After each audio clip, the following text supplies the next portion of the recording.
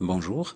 Dans cette séquence, nous allons euh, traiter cet exercice 2, montrer que l'assertion suivante est fausse, quel que soit x appartient à R, il existe y appartient à R, tel que 4xy sur y au carré plus x au carré super strictement à 1.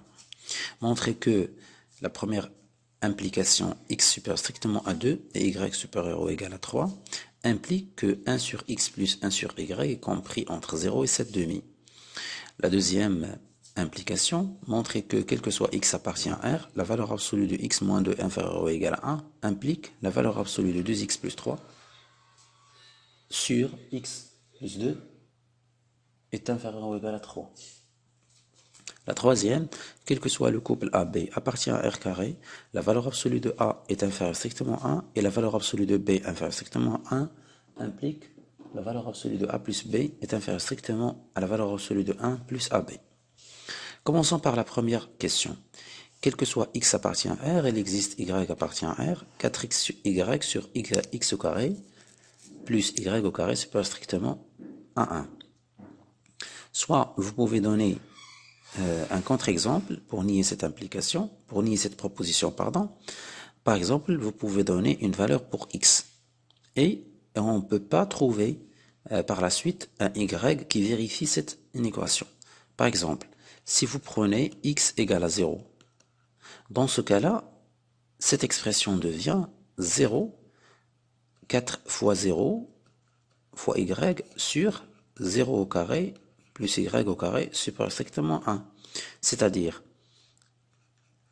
0 supérieur strictement 1. Ça, c'est impossible. Donc, l'inéquation n'a pas de solution. D'où la proposition fausse. La proposition est fausse. Si vous voulez traiter, par exemple, le cas général, vous pouvez fixer un x de r et vous allez chercher euh, une solution de l'inéquation, euh, bien sûr, 4xy euh, sur x au carré plus y au carré supérieur strictement 1. Donc, je peux appeler ça la méthode numéro 1. Et vous pouvez bien sûr suivre une autre méthode. Par exemple, donc je passe à la page suivante. On a ici euh, méthode numéro 1, numéro 2 maintenant. La méthode numéro 2, quel que soit y,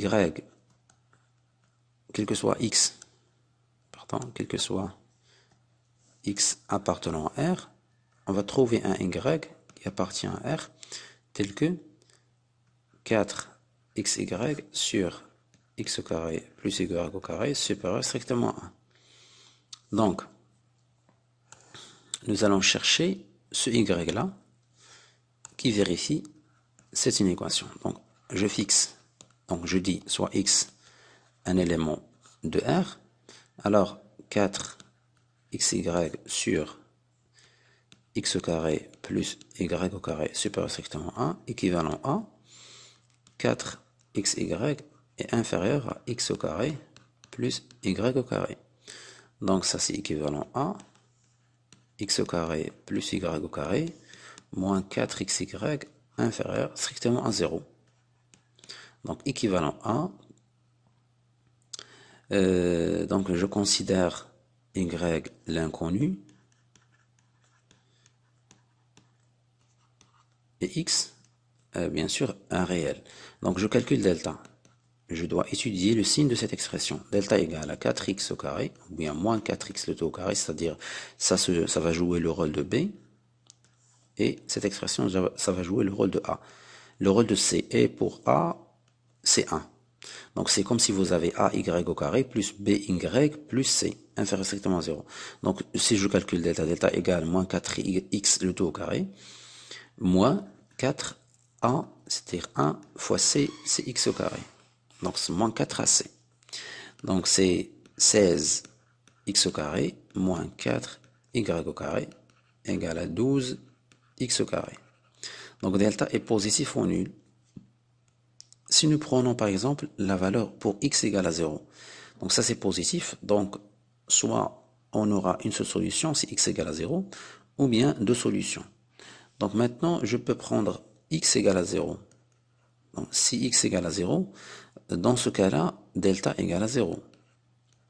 Donc, on aura une seule solution qui est y égale moins b sur 2a, c'est-à-dire b égale à moins 4ac, c'est-à-dire 0. Donc, euh, la solution sera 0. Donc, j'écris ici y, et ici, y au carré, moins 4xy plus x au carré. Donc, il s'annule quand y égale à 0, quand x égale à 0, euh, y pardon, égale à 0 et x égale à 0. Alors, si x est égal à 0, dans ce cas-là, toute cette expression va être nulle si y égale à 0. À droite, je mets le signe de A et à gauche aussi le signe de A. Donc l'expression l'expression est toujours positive. Donc l'inéquation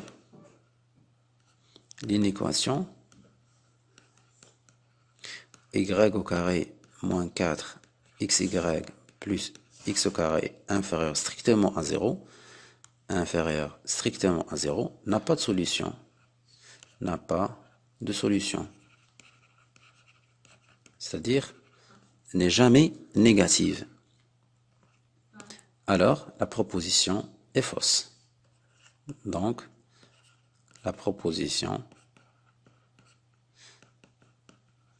quel que soit x appartient à R, et existe y appartient à R, 4xy sur x carré plus y carré supérieur à 1 est fausse.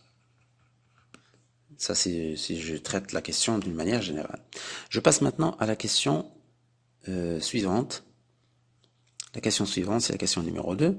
Donc, je dois montrer quelques implications. La première implication, si x est supérieur strictement à 2 et y supérieur ou égal à 3, x supérieur strictement à 2, y supérieur ou égal à 3, est-ce que ça implique 1 sur x plus 1 sur y inférieur strictement à 7 demi? Voilà. Alors, je passe maintenant, je, donc je commence par ce premier membre-là, qui est x supérieur strictement à 1, y supérieur strictement à 3. Donc, si x est supérieur strictement à 2, et y supérieur ou égal à 3, ça implique que 1 sur x est inférieur à 1 demi et supérieur ou égal à 0. Euh, n'est jamais nul puisque x ne peut pas être égal à 0 puisque x est supérieur strictement à 0. Donc même si je peux écrire supérieur ou égal à 0. Bon, il est supérieur à 0. Et 1 sur y sera inférieur ou égal à 1 sur 3 puisque l'inverse de 3 c'est 1 sur 3. Et euh, ici j'écris supérieur ou égal à 0. Donc si j'additionne les deux, les deux propositions, les deux, les deux expressions, les deux inégalités membre à membre, donc ça devient 1 sur x plus 1 sur y sera compris entre 1 demi plus 1 tiers. Euh, pardon, je pense qu'il y a une erreur ici dans l'exercice.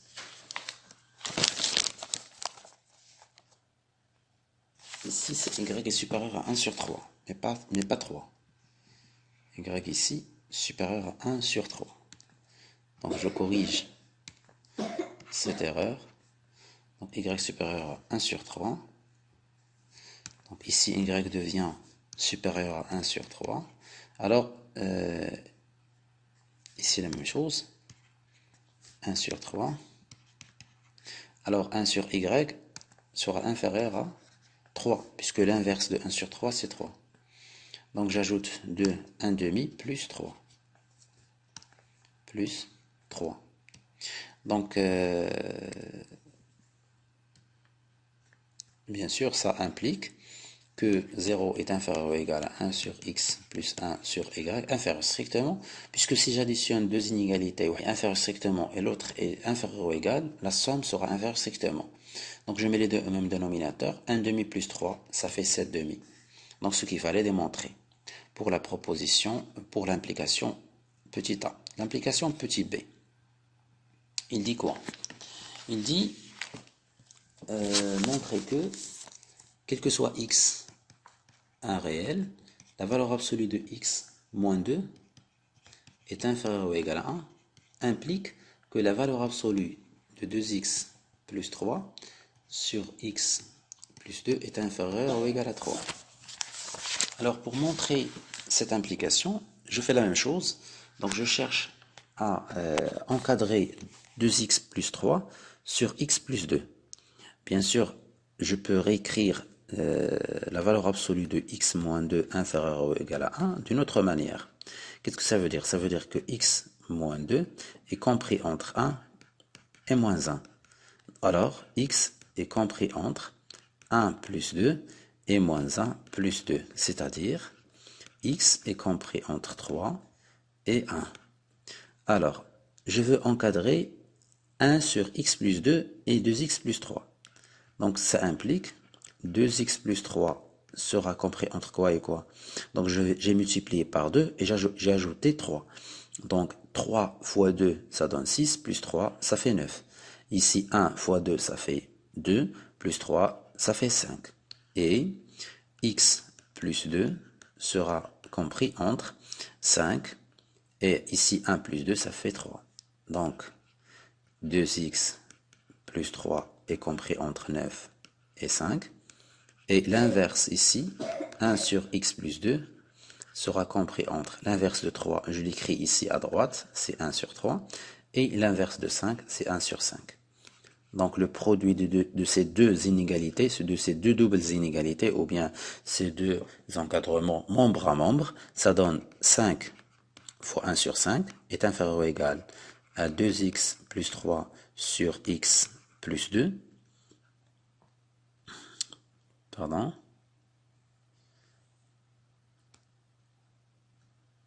inférieur ou égal à 1 9 fois 1 sur 3, c'est-à-dire 2x plus 3 sur x plus 2 est inférieur ou égal à 3, supérieur ou égal à 1, c'est-à-dire la valeur absolue de 2x plus 3 sur x plus 2 est inférieur ou égal à 3, ce qu'il fallait démontrer. Maintenant, il nous reste la dernière question qui dit montrer que